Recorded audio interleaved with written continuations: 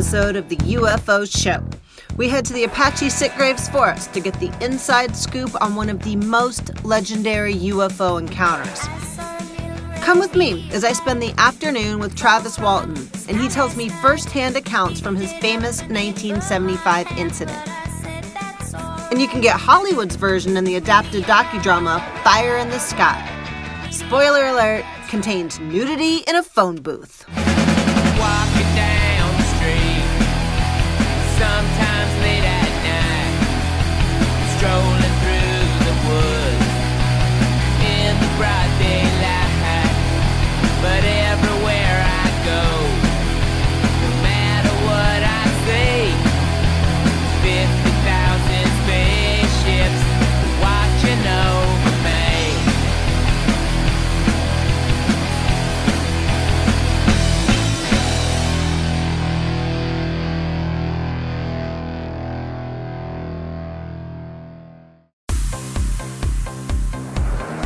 What's up, guys? I am Amy Dumas. Today we've driven out to Heber, Arizona. You may have heard of a little movie called Fire in the Sky. It all went down right here, and I'm going to talk to the man who's made this town famous, put it on the map, Travis Walton. Let's go talk to him.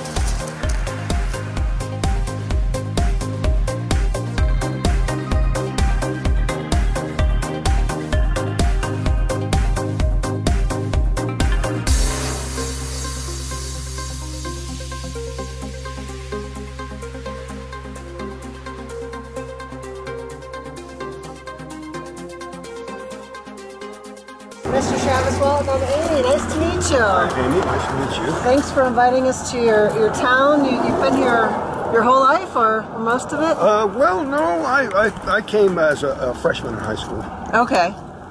But this is this is where you call home.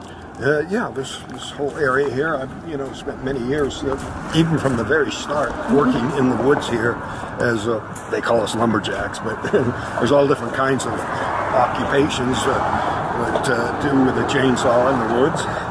Some of that's petrified since you last been logging. It's not been that long, and I'm not the designer of these uh, green statues, but You, uh, you could have taken claim for them, you know. no, that's not my design. okay, well that, that's yeah. So, but it's your incident that that has Inspired the- these inspired- designs, so you can take partial credit for that. Yeah, and people from all over the world come here and, and buy these statues, and it's interesting. Sure, because you know, obviously not everybody has, nobody has your story to tell.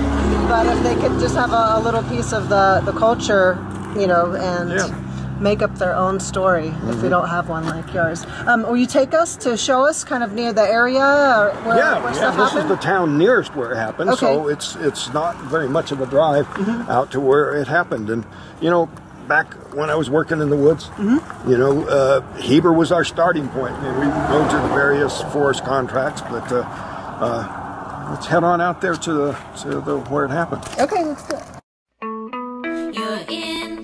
Our Our adventure is just getting started as we head down State Road 260 and off into the woods. My the first big story that I remember as a kid, because like I said, I was too young when when the media attention first started with you was Communion. You know, when they had the mm-hmm. the book come out and everything. And I remember my mom reading it, and I was young, and I was saying, "What is that?" And she was kind of vague, which of course made me, when I was old enough, want to read, and that was my first interest into wanting to ask questions. Well, I think that whole perspective on alien presence as some sort of a horror story is part of what led a lot of people to resist believing it, you know, because they don't want there to be monsters out there. And uh, I don't believe there are, you know. Some people just uh, interpret it that way. You know, something. Well, it's the unknown in general is always scary. It's strange, so you know they're terrified. But you know, the unknown, whether it's you know a political agenda that someone isn't quite doesn't understand all the way, or, Yeah. or whether it's you know a, something a, even a foreign culture that you know or a foreign species. If you don't understand it, it's it can be terrifying to somebody, and there's going to be resistance.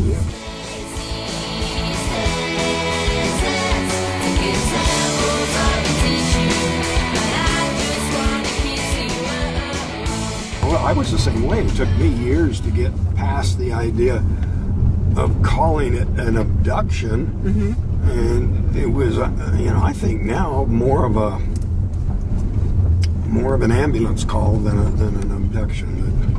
It, it was just an accident that precipitated you're- you're- events that wouldn't have happened otherwise. the, the timing of, of everything li- lining up of you just being right there uh, how long do you feel like it took you to kind of uh, absorb what happened after after you came back? Well, it was a long, slow process, and you know, one what, what coming to that understanding intellectually uh, came 1st and then trying to uh, get my emotional response to catch up to my intellectual understanding of it. You know, Sure. because you know I could understand that you know circumstances don't point to it being so horrific, but you know the the memory of the trauma and the fear really colored my feelings towards it for a long time. But uh, yeah do you feel like it was phases that you had yeah, to- it was in phases, and you know there were it was a dawning awareness. You know, one Mm-hmm. thing was the fear that there was going to be some serious medical consequences Mm-hmm. to getting hit in the head with 500 million volts. You know, Right. Uh, and it didn't materialize. Uh, you know, I, it actually started to, much to my surprise, go the other way. You know, I was never sick.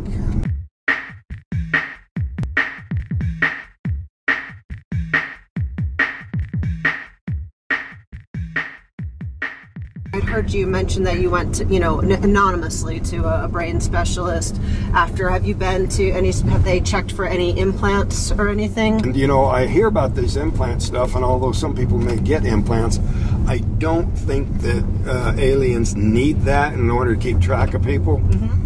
Um, we have these little cell phones we carry around with us, Yeah. and um, the um, the the data center up there uh, in uh, I think it's Utah uh, um, is basically recording every single electronic communication on the face of the earth. And we got 8 billion people here. And with comparatively primitive technology, our authorities can keep track of 8 billion people. So I would think that uh, a really advanced civilization would be able to keep track of all of us, no problem. I used to scoff at the idea. People say, "Oh, I saw this thing when I was eight years old, and then then I had this other incident when I was 25." And Right. and I, oh come on, they like you know I thought you know we're like ants on an anthill. They Yeah. you know they don't they're no respecter of persons, but actually I think they are. I think that that if you saw one you when you were five and you saw another one when you were 30, Mm-hmm. they know it's you.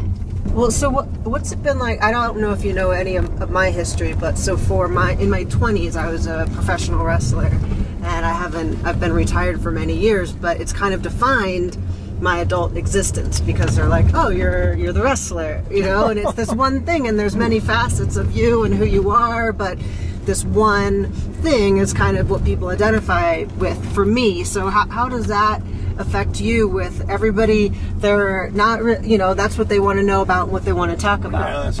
Or have you just accepted that that's just the way it is or does it annoy you some days or, or Uh, well, you know, I could um, moan and cry uh, and complain, but what's a good is it going to do me? You know? Yeah. People say, "Do you wish it?" Been? What good does it do to wish it didn't happen? what's that you can shit in one hand and wish in the other and Yeah. something like that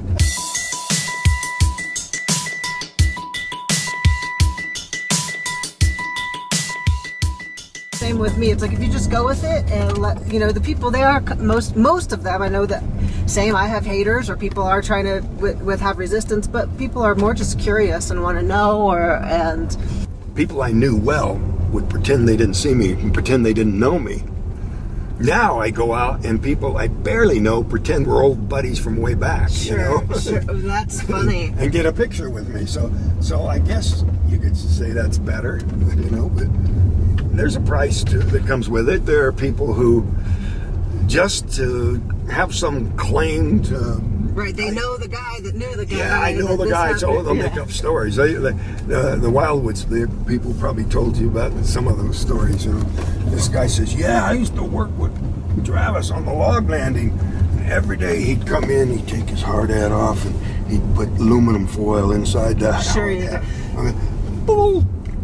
Why would I put fresh aluminum foil in there every day if I thought I needed to shield my brain with aluminum foil? I it's just made a good story. Yeah. And you know, but I know the guy, and you know, we worked together, and I can't tell you how many high schools I went to. I only went to one, but it's like I went to high school with her. I'm like, um, that's the story. of- Lassiter, Marietta, because that's the only one I went to. a to. guy saying, you know that, you know that homecoming party in the movie. You know, I was at that party. Oh yeah. Well, that, That was just made for the. the party was fiction. You know, there, there never was, we never was a party. So, so uh, I don't know how you were at it because I wasn't.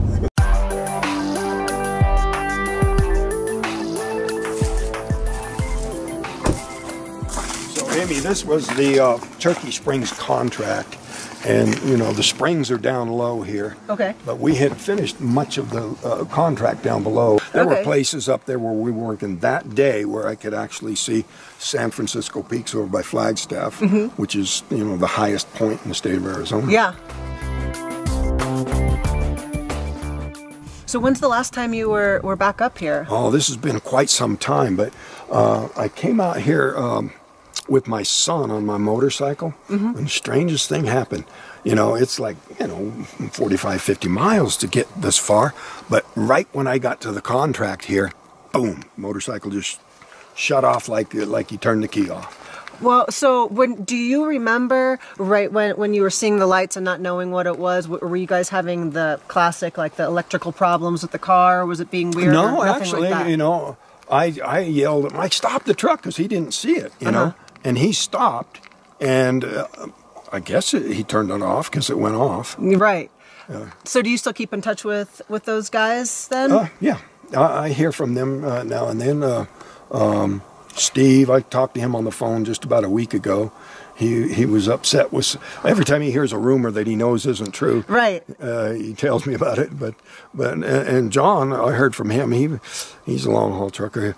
He got jumped. Some drug guy who tried to rob him with a knife. And he, had a picture of the knife on the on the. He showed him that he messed with the wrong. He picked the wrong person Yeah. to uh, bring to a knife fight. Yeah, the guy uh, definitely got the bad end of the deal and was an unsuccessful robbery.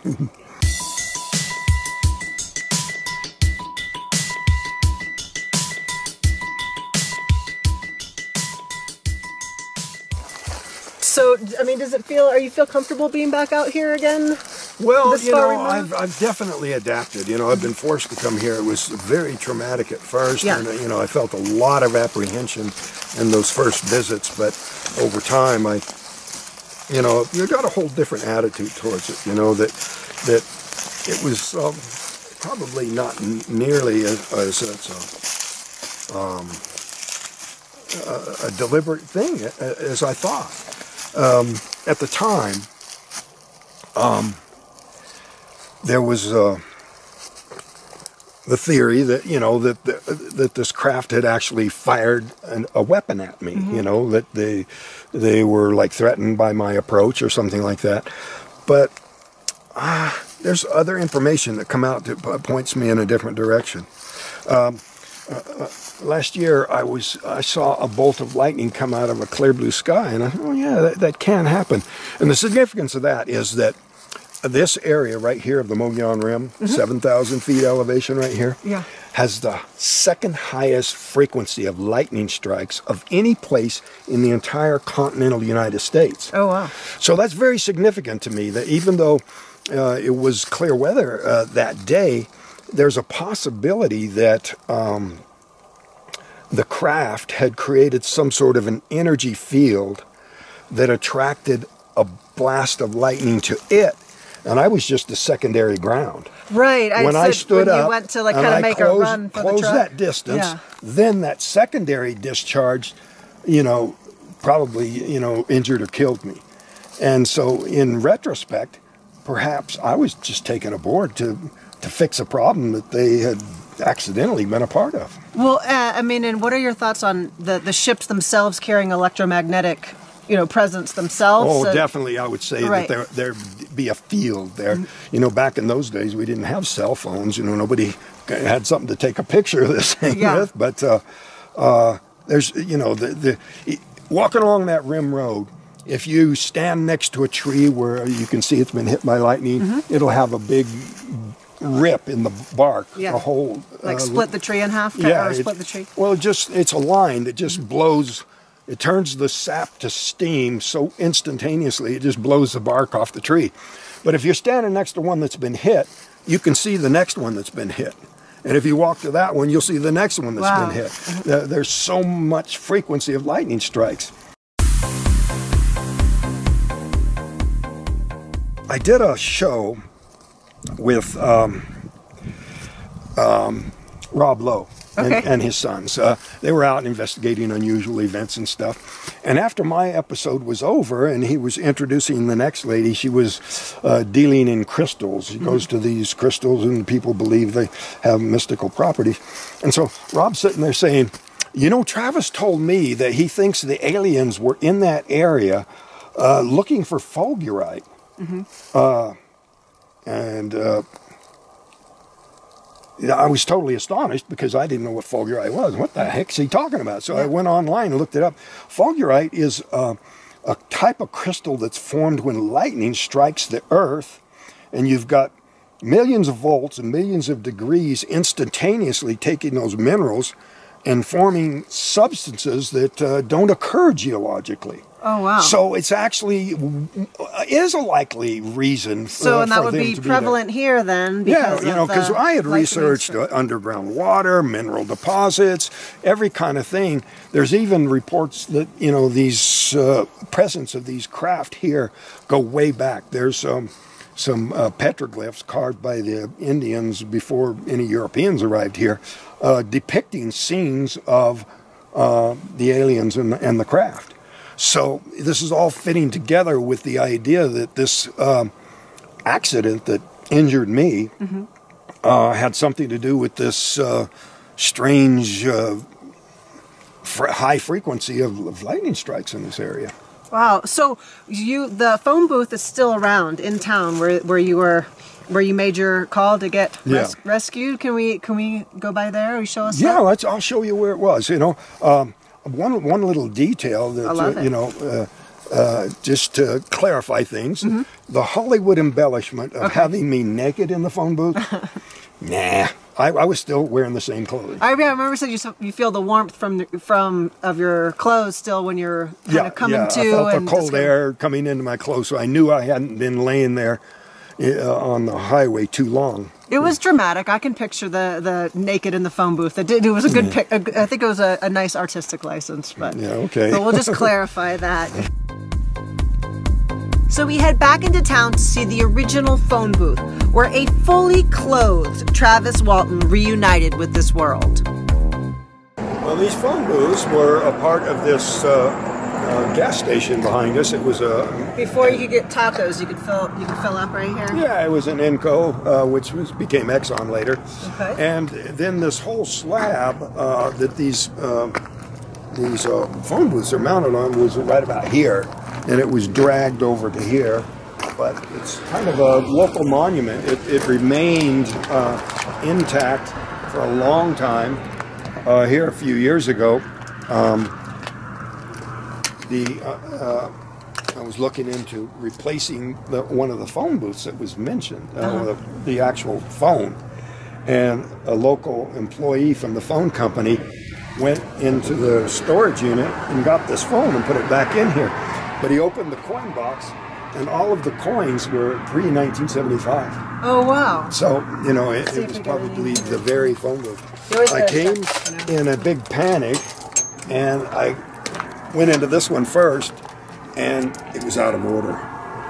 Oh, man. Just like it is today. I was at the end of my rope. and then I come over here in this one and it worked.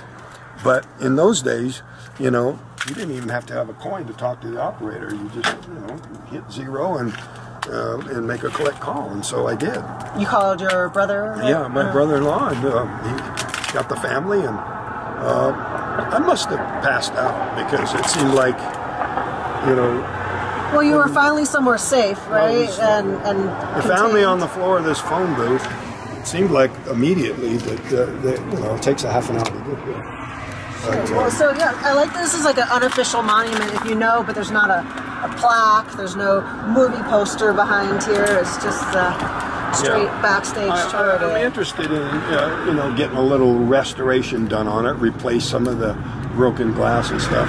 Uh, I think some of the vandalism that's occurred here is a, an expression of people's fear of the incident. You know. Well, you know, you can't have nice things. We try to have these nice roadside attractions. You can come in and take it in, Somebody might have backed into that as an accident. That's one thing, but you know, the, the rock that came through that window, uh, you know, It was not an accident. it was no accident.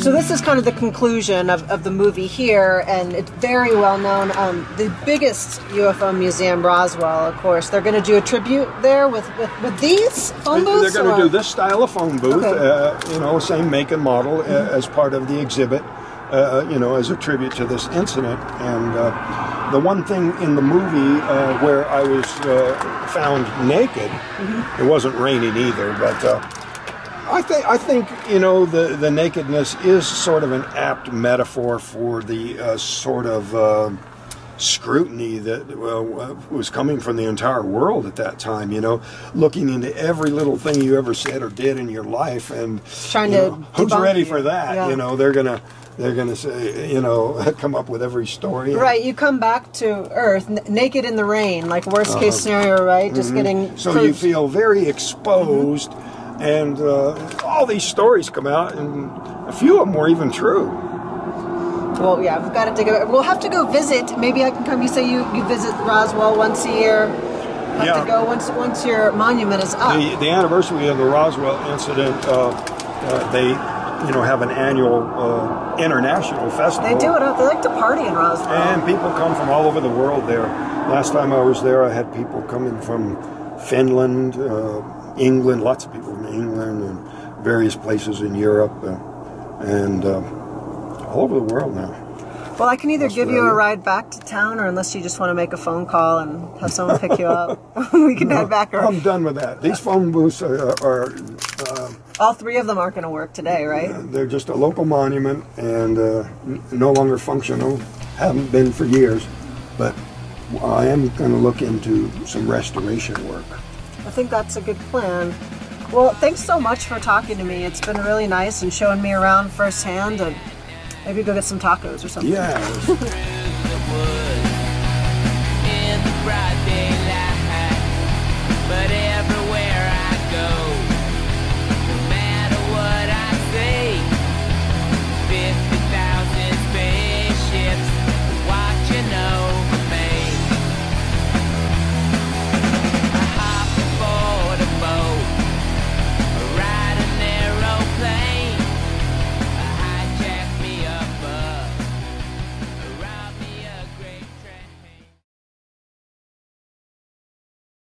Wrestling fans, you all know about that other big time wrestling network.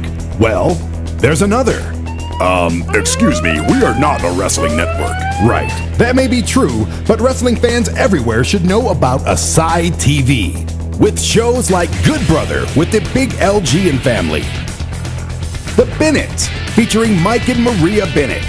The UFO Show with Hall of Famer Amy Dumas. A travel show with Eva Lise. Legendary wrestling promotion OVW. Lockdown Living Room Comedy Show featuring Puppet the Psycho Dwarf, plus other shows with a wrestling touch such as Wrestling with Ghosts. Go there, eat that, Toy Life, and many, many more. So, wrestling fans, it's time to add a new wrestling network. We are not a wrestling network. Right. We're not a wrestling network. Not at all. But, kind of. Subscribe to ASY TV now, available on Roku, Apple TV, Amazon Fire, and at ASYTV.com.